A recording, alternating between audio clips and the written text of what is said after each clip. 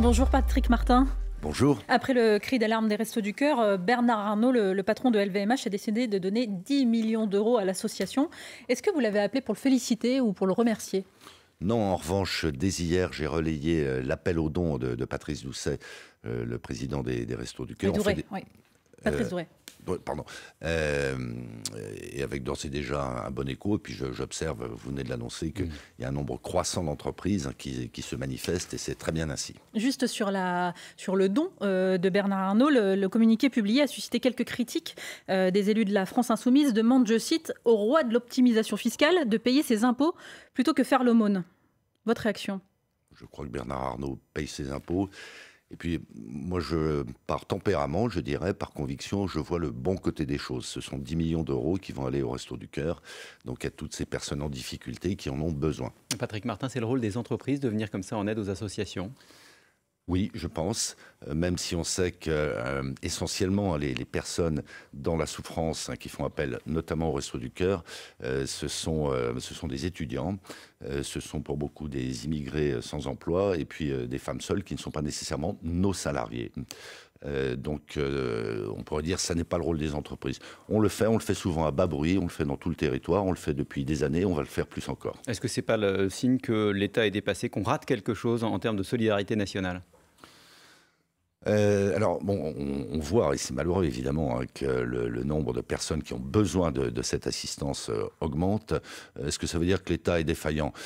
Ça serait un raccourci de, le dire. Ça ne m'empêche pas de penser qu'il y a un certain nombre de politiques publiques qui ne sont pas optimisées. Je veux dire par là qu'elles coûtent cher sans toujours donner les résultats attendus. Vous-même, vous avez donné, Patrick Martin? Oui. Combien? Je vous le dirai pas. Et c'est pas la première fois vous que ne ferez pas de communiqué? Non, je ne ferai pas de communiqué. Avec l'inflation, euh, la rentrée des Français est compliquée. Et de votre côté, comment ça va du côté des patrons? Alors, euh, je dirais qu'on est, euh, est entre deux eaux. Hein. On, a eu notre rencontre des entreprises de France la semaine dernière, plus de 10 000 chefs d'entreprise participants. la tonalité n'était ni à la résignation ni au pessimisme, mais pour avoir fait un, un tour de table assez approfondi avec tous les secteurs d'activité, on voit quand même que dans un bon nombre de cas, la conjoncture est en train de se retourner. C'est flagrant dans le bâtiment, par exemple. Euh, et donc, euh, nous, on veut, on veut euh, être positif, on veut contribuer à ce que le pays tourne bien, mais encore faut-il qu'on nous en donne tous les moyens. L'économie française ne tient qu'à un fil? Euh, je pense qu'elle ne tient qu'à un fil. Je ne suis pas en train de vous dire qu'on est à l'aube d'une profonde récession.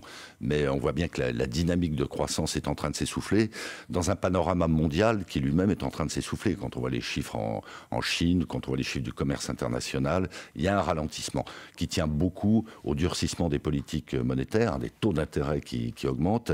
Euh, il ne faudrait pas que ça dure trop longtemps. Vous disiez il faut qu'on nous laisse les moyens d'agir euh, comme on le souhaite. Euh, la rentrée du MEDEF a été un peu mouvementée puisque contrairement à, la promesse du candidat Macron, euh, la suppression de la CVAE, qui est un impôt de production, est repoussée progressivement à 2027. Vu l'état des finances publiques aujourd'hui, est-ce que vous êtes sûr qu'elle aura vraiment lieu, cette suppression? Écoutez, même si même il y a un étalement de ce qui était prévu dès 2024, Enfin, tout ça n'est pas encore arrêté. Hein. Il va y avoir la discussion du projet de loi de finances, du budget. Euh, nous, on croit en la parole de l'État. Hein. Euh, j'ajoute que le président de la République ne s'était pas engagé sur un calendrier. Mais l'an passé, la loi avait prévu cette suppression dès 2024. Et pour l'instant, ça va être étalé. Ça met vraiment des entreprises en difficulté? Oui, parce que euh, je crois que dans, tous ces domaines, il faut qu'on prenne en compte l'environnement international. Il y a un réel durcissement de la compétition internationale. Les Américains sont très offensifs avec des, des programmes de soutien et d'attraction des investissements. Les Allemands ont annoncé la semaine dernière 32 milliards d'aides aux entreprises, singulièrement aux PME. Donc la France n'est pas un monde à part. Et donc, euh, si on se met sur pause d'une certaine manière, notamment sur ces 4 milliards d'euros de suppression de, la CVAE, un impôt de production, c'est-à-dire pas du tout un impôt sur les bénéfices, eh bien, relativement, on prend, nécessairement du, retard. Donc oui, on avait intégré ça dans nos plans d'affaires, dans nos business plans pour créer des emplois, euh, pour euh, lancer des investissements. Il faut être attentif à ça. Euh, la France n'est pas un monde à part. Mais il y a eu déjà des baisses euh, d'impôts de production. Est-ce que vous entendez quand même, Patrick Martin, euh, ceux qui disent attendez, là on est en train de donner trop de, trop de cadeaux, on fait trop de fleurs fiscales au patronat, alors qu'en fait, bah, il n'y a pas de contrepartie? Alors, euh, quand on parle de cadeaux, c'est très... Le pouvoir vous cajole. Oui, non, enfin, c'est très tendancieux. D'abord, est-ce que c'est efficace? Oui, il y a 2 millions d'emplois qui ont été créés sur les, six dernières années. L'investissement est reparti en France. Et puis, euh, tout est relatif à nouveau. Hein. Euh, les entreprises françaises par rapport à leurs concurrentes allemandes, même s'il y a eu, et on les salue, des baisses notamment de fiscalité, les entreprises françaises payent toujours 120 milliards d'euros par an de plus que leurs concurrentes allemandes. Mais ce qui n'empêche pas les bénéfices records, on l'a vu cette année. Ce qui n'empêche pas les bénéfices records. C'est pas le poids fiscal qui fait que l'entreprise va mal. Je suis plus nuancé. Euh, quand on regarde de près qui réalise ces bénéfices records, dans la grande majorité des, cas, ce sont des grands groupes qui sont très présents à l'international. Quand on regarde leurs bénéfices en France, ils ne sont pas aussi flamboyants que ça, en moyenne. Euh, mais, mais vous, qu'est-ce que vous répondez à ceux qui disent c'est pas normal il, Tout le monde fait un effort en ce moment. Euh, on, parle notamment euh, des, particuliers. On, voilà, par exemple, la taxe foncière. C'est pas normal que les, les entreprises mettent pas elles aussi un peu la main à la poche. Il y a un amalgame dans l'esprit de certains entre entreprises et actionnaires. Et on veut, on veut signifier que ce sont des cadeaux aux actionnaires. Euh, quand on parle d'efforts, les entreprises font des efforts. Elles le font par civisme, mais elles le font aussi parce que c'est leur intérêt. Elles font des efforts en termes de création d'emplois, elles font des efforts en termes d'investissement. Donc il y a cette politique qui, je le redis, a donné des bons résultats. Il ne faut pas l'enrayer. Et c'est comme ça qu'il faut analyser les choses. Et pardon d'être très insistant là-dessus, euh, il faut apprécier la performance des entreprises et de l'économie française relativement à celle des autres. Si les autres accélèrent et que nous ralentissons, nécessairement, nous nous déclassons. Patrick Martin, président du MEDEF, vous allez rester avec nous dans un instant. On va parler de la conférence sociale sur les bas mm. salaires. Je crois que vous allez euh, en parler aujourd'hui avec le ministre du Travail. Ce sera juste après le fil info à 8h40. Sophie Echen. Redouane Faïd comparaît à partir d'aujourd'hui devant les assises de Paris pour son évasion spectaculaire de la prison de Réau il y a 5 ans. Le braqueur multirécidiviste sera jugé pendant 7 semaines aux côtés de 11 complices, dont des membres de sa famille. Emmanuel Macron se redit favorable à l'interdiction de l'abaya à l'école. Le chef de l'État était invité sur la chaîne YouTube Hugo Décrypte hier soir. On veut avoir un espace avec le moins de différences possible, dit-il. Cet après-midi, le Conseil d'État examine le recours déposé par l'association Action Droit des Musulmans qui demande la suspension de cette interdiction. Au Niger, le gouvernement mis en place après le coup d'État du 26 juillet dernier affirme que des discussions sont en cours pour que les militaires français présents dans le pays se retirent rapidement. Le Premier ministre nigérien dit espérer le maintien de la coopération avec la France. Le tennis à l'US Open et Alexander Zverev affrontera Carlos Alcaraz en quart de finale. L'Allemand s'est qualifié ce matin en battant l'Italien Yannick Sinner, victoire en 5-7 au terme d'un duel de plus de 4h40. France Info. Le 8-30 France Info, Jérôme Chapuis, Salia Braclia. Dans du MEDEF, Patrick Martin, après son, son grand Raoult avec les chefs de partis politiques la semaine dernière, Emmanuel Macron a annoncé la tenue d'une grande conférence sociale euh, sur les bas salaires prochainement. Est-ce que vous savez, euh, est-ce que vous avez vous des infos sur le calendrier? Vous savez, euh, c'est pour quand? Pas encore, mais je comprends que ce sera assez rapide. Vous voyez le ministre du Travail aujourd'hui, Olivier Dussopt, hein, c'est ça? Je vois Olivier Dussopt, euh, avec lequel j'ai une bonne relation. Le MEDEF a une bonne relation, mais avec lequel nous avons un certain nombre de sujets de discussion. Mais alors, vous y allez dans quel état d'esprit, justement? Vous êtes euh, ouvert à des, à des hausses de salaire? Alors, euh, il faut rappeler un certain nombre de points. Euh, il a pu être dit que euh, dans certaines branches, les salaires étaient inférieurs au SMIC. Non, légalement, on ne peut pas payer un salarié en dessous du SMIC. Hein. L'entreprise comble. Mais les, premiers salaires, les seuils sont pour, 4, dans, 80, branches sont en dessous du SMIC. Alors voilà, il y, a un sujet lié à l'inflation qui conduit à ce que les branches à un rythme qu'on ne connaissait pas depuis 30 ans, doivent renégocier assez régulièrement les minima conventionnels quand ils sont rattrapés par, euh, le SMIC. Il y avait 150 branches qui étaient en retard par rapport à ce nouveau SMIC quand il a été augmenté au mois de mai. Euh, il y en a dorénavant 80. Donc, ça demande des discussions, ça demande d'avoir des interlocuteurs euh, syndicaux. Donc, euh, il y a, à la fin des fins, il y aura un tout petit nombre de branches euh, qui, n'auront pas conclu sur la revalorisation de ces minima conventionnels. Et pourquoi ce ne serait pas automatique, ces hausses, dans les branches? Alors c'est une, c'est une demande, ça veut dire que c'est la négation du dialogue social. à, ce moment-là, l'État décide de tous les salaires c'est une option. Mais avoir des salaires Ça s'appelle une économie dirigée. Je pense que l'économie française est déjà largement dirigée.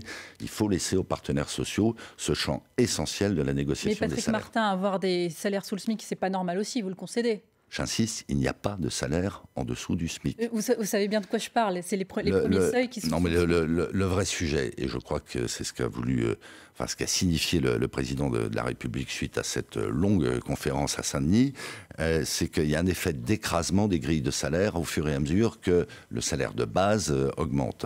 Et donc, euh, ce à quoi on doit être attentif, et je crois que Bruno Le Maire s'est exprimé là-dessus, c'est à ce qu'il n'y ait pas une répercussion sur l'ensemble des grilles salariales de l'augmentation du SMIC et donc du, minima, du minimum conventionnel. Parce que c'est ce qui se passe, pardon.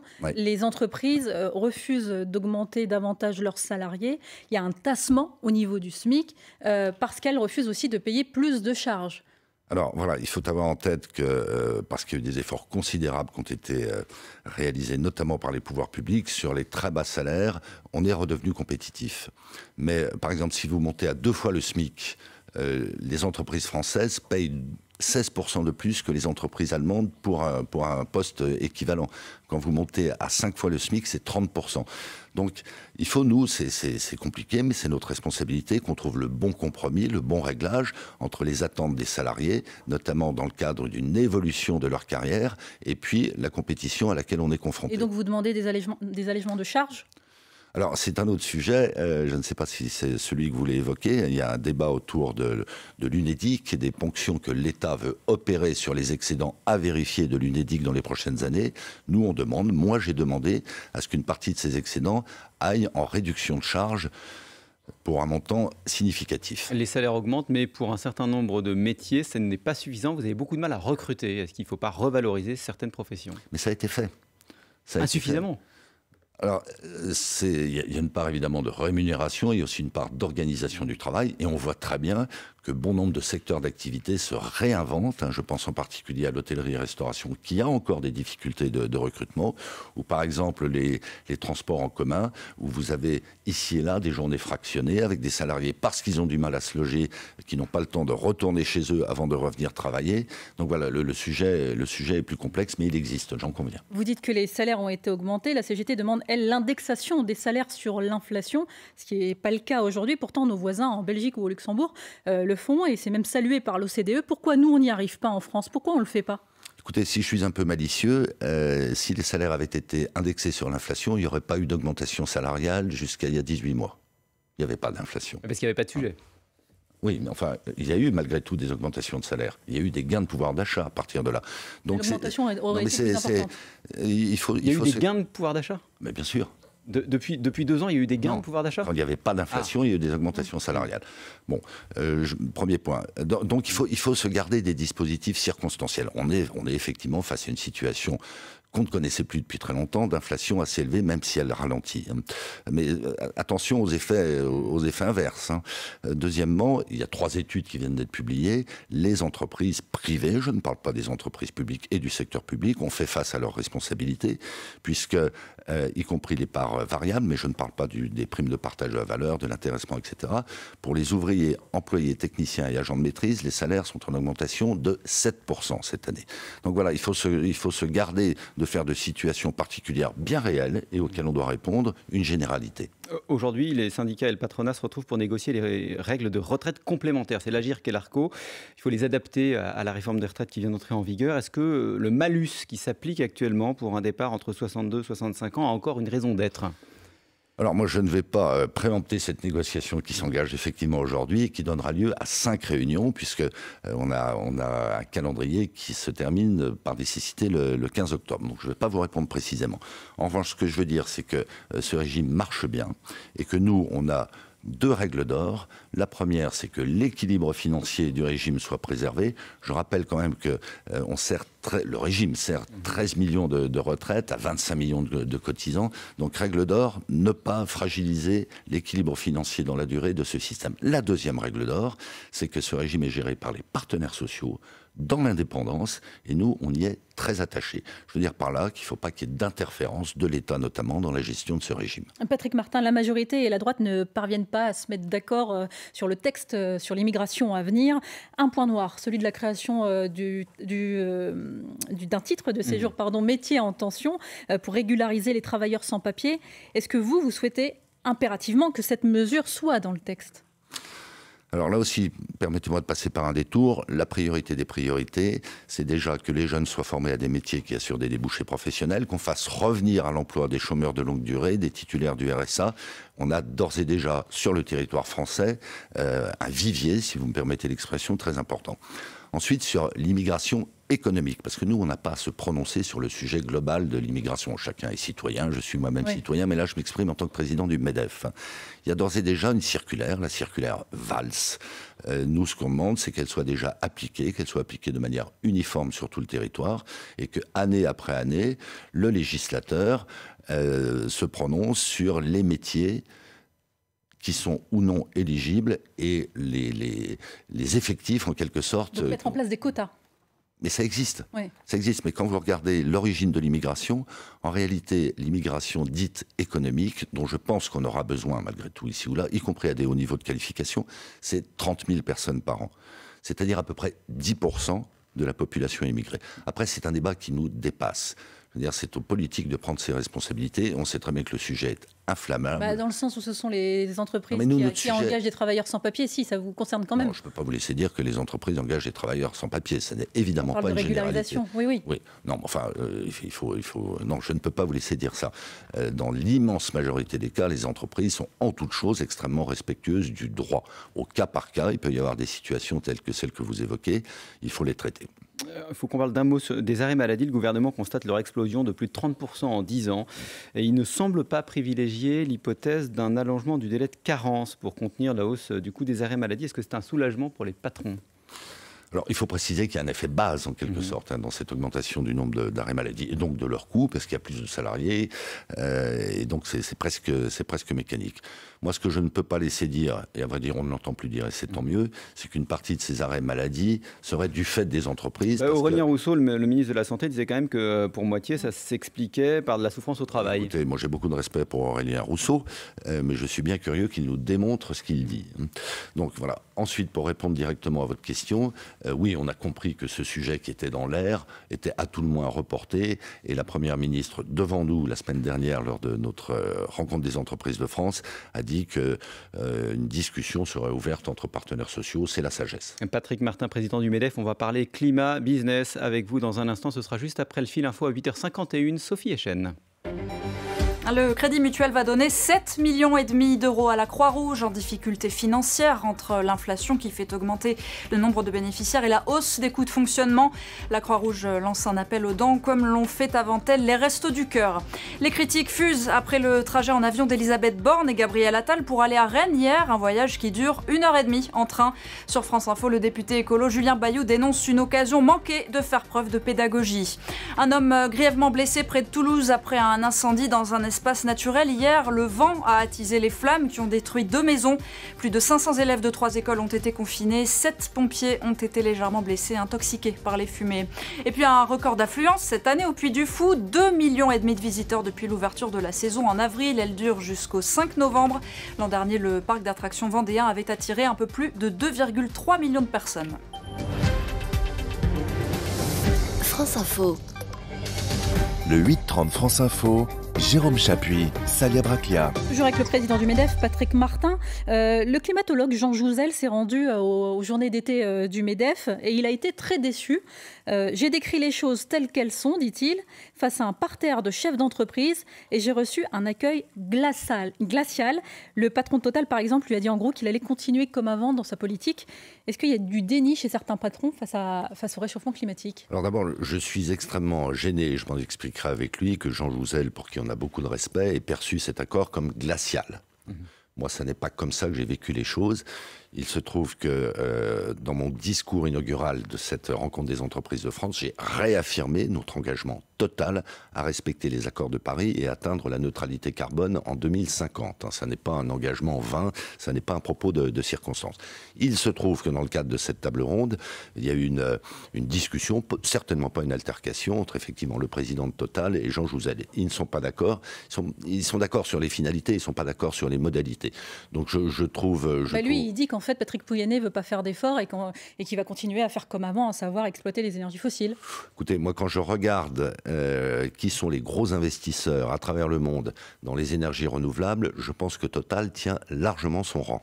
Le propos, le propos de, de Patrick Pouyanné, que beaucoup d'entre nous partagent, c'est qu'il faut que nous soyons réalistes. J'insiste, pas sur les finalités, pas sur les calendriers, mais sur les modalités. Et dire à l'opinion publique française, alors que 75% de notre consommation d'énergie est à ce jour d'origine euh, hydrocarbures, dire euh, demain matin on arrête, euh, ça pose un vrai sujet pratique et ça pose un vrai sujet d'acceptabilité. Mais modalité calendrier, c'est un peu la même chose, non? Non, c'est le rythme. Si vous voulez, nous, ce à quoi on est très attachés, pardon d'être un peu, un peu technique, c'est la neutralité technologique. Que l'on que l'on s'engage résolument, que l'on soit sanctionné si nos engagements ne sont pas tenus sur une trajectoire et un résultat, oui. Mais on, vient nous expliquer. On prend un exemple très concret, Patrick Martin. Le, gouvernement dit qu'il n'y aura pas de hausse d'impôts, mais il peut y avoir dès l'année prochaine, euh, dans le budget qui est en préparation, des suppressions de niches fiscales, celles qu'on appelle les niches euh, brunes, qui encouragent l'utilisation d'énergie fossile. Là, vous dites banco dès cette année? Mais euh, sous réserve euh, de, vérification, euh, c'est dealé, entre guillemets, avec les professions concernées. Hein. Précisément, c'est ce que je vous disais, sur un calendrier réaliste. Pourquoi? Parce que à ce jour, je prends un exemple, on dit à une entreprise de travaux publics, vous n'avez plus le droit d'utiliser telle pelleteuse à moteur thermique. Hmm. Très bien, à part qu'il n'y a pas d'offres hmm. techniques, technologiques qui permettent de substituer des engins à moteur électrique à ces engins à moteur thermique. Résultat des courses, on ne fait pas les travaux, on laisse ces entreprises disparaître. Donc il faut laisser le temps à la technologie de venir au secours de ces entreprises. Mais bien sûr, et moi je suis très confiant quand on voit le rythme des innovations qui apparaissent jour après jour, c'est spectaculaire et il y a tout lieu de penser qu'on y arrivera. Mais il ne faut, pas, faut pas que les pouvoirs publics fassent ce qu'on appelle du micromanagement et viennent nous expliquer, d'ailleurs en changeant d'avis euh, d'une période à l'autre, euh, les modalités techniques de ce qu'on doit faire. C'est ce que vous craignez parce qu'Elisabeth Borne doit dévoiler euh, là, à la mi-septembre, les mesures qui doivent permettre de réduire significativement les, gaz à, émissions de, les, émissions de gaz à effet de serre d'ici à 2030. Vous, êtes en train de dealer là, avec le gouvernement pour, pour pas qu'il charge la barque, en fait? Le sujet n'est pas, de, n'est pas de charger la barque, c'est d'être réaliste au regard des mm. évolutions euh, technologiques, d'être réaliste au regard de ce que font ou ne font pas d'ailleurs un certain nombre de pays, y compris euh, immédiatement voisins. Mais oui, on, va, on va s'engager très résolument. C'est une approche unique au monde, très volontariste. On va se prêter à l'exercice. Il y a beaucoup de dépenses contraintes hein, dans le, panier des Français, et notamment évidemment le carburant. Bruno Le Maire écarte l'idée d'une nouvelle ristourne à la pompe due aux contraintes budgétaires. Est-ce que c'est aux entreprises à un moment de prendre le relais, de donner un petit coup de pouce à leurs salariés sur ce sujet-là, parce qu'ils se déplacent pour venir travailler? Alors, euh, certaines le font, mais je voudrais quand même rappeler que les entreprises elles-mêmes sont impactées, et parfois très sévèrement impactées par le renchérissement du coût de l'énergie dans les secteurs d'activité. Et ce ne sont pas que des grands groupes dits énergo-intensifs. Il y a des, des, entreprises qui sont en grande difficulté. J'ai oublié de préciser tout à l'heure qu'à ce jour, le prix de l'énergie aux États-Unis est 3 à 4 fois inférieur à celui qu'on a en Europe. Donc toujours un problème de compétitivité. Et, voilà. Et donc euh, ça n'est pas simple, c'est passionnant, mais il faut que nous trouvions le, bon équilibre et que le Medef contribue à ce qu'on trouve ce bon équilibre. Patrick Martin, la situation est tendue au Niger, au Gabon aussi. Plusieurs entreprises françaises sont présentes sur place. Euh, est-ce que vous êtes inquiet? Oui, alors, euh, du, seul point de vue économique, hein, ce sont des, partenaires euh, importants. Je ne sais pas si on peut amalgamer d'ailleurs ce qui se passe au, Gabon et, au Niger. Il y a eu deux quoi en soit, mais la, situation est différente. Quoi qu'il en soit, ça fait aussi partie de la vocation ou de la mission du MEDEF. Hein. Nous avons séance tenante mis en place une hotline, bien sûr en relation avec euh, le ministère des Affaires étrangères, avec les conseillers du commerce extérieur qui sont présents à travers toute la planète pour pouvoir répondre à nos entreprises qui s'interrogent. On n'a pas encore toutes les réponses à toutes les situation. Parce qu'au Niger, l'hostilité envers la France est, de plus en plus pesante. Euh, est-ce que certains entrepreneurs, est-ce que certains chefs d'entreprise vous ont appelé euh, pour évoquer un départ du pays? Bien sûr, euh, pour commencer, euh, le départ de leurs collaborateurs qui sont présents dans, ces pays. C'est pas euh, comparaison n'est pas raison, mais on avait connu ça à une échelle encore bien plus grave avec l'Ukraine. Hein. Et donc on avait aidé, c'est pas le Medef à lui seul bien sûr qui a réglé ces situations, on avait aidé un certain nombre d'entreprises à gérer ces situations critiques. Avec des risques parfois, ça s'était passé en Russie notamment, d'expropriation? Oui. Alors, euh, moi, j'ai pas connaissance à ce jour de ce type de menace sur les intérêts économiques français au Niger et, a fortiori au Gabon. Et puisqu'on parle de, la conjoncture internationale, vous évoquiez tout à l'heure les difficultés notamment euh, en Chine. Euh, cette incertitude, cette euh, incertitude vraiment sur l'ensemble de la, de la conjoncture internationale, à la place qui est la vôtre aujourd'hui comme représentant des, des entreprises de France, ça vous inquiète ou vous avez l'habitude de faire avec? Alors, j'allais dire, on a l'habitude de faire avec, mais ce qu'on observe aujourd'hui, en essayant de, comment dire, de, distinguer ce qui relève euh, du conjoncturel et ce qui relève du structurel, c'est qu'il y a quand même des évolutions très structurelles. Ce que je veux dire par là, et ça n'est pas neutre d'ailleurs, euh, en termes d'évolution de nos tissus productifs, en termes d'inflation, euh, c'est qu'il y a une recontinentalisation mmh. des, des, plaques économiques, je crois, et c'est un vrai c'est un vrai sujet de préoccupation pour les très nombreuses entreprises françaises qui sont implantées notamment en Chine. Euh, je crois qu'il y a un durcissement dans le cadre d'une confrontation États-Unis-Chine, hein, c'est mm. pas l'Europe hein, qui est à l'initiative de, ces tensions, euh, il y a des interrogations assez fondamentales sur le modèle économique chinois, sur l'ouverture de la Chine aux investissements et euh, aux importations, notamment d'origine européenne. Oui, c'est un vrai sujet de préoccupation. Patrick Martin, merci, président du MEDEF, d'avoir été ce matin l'invité du 830 France Info.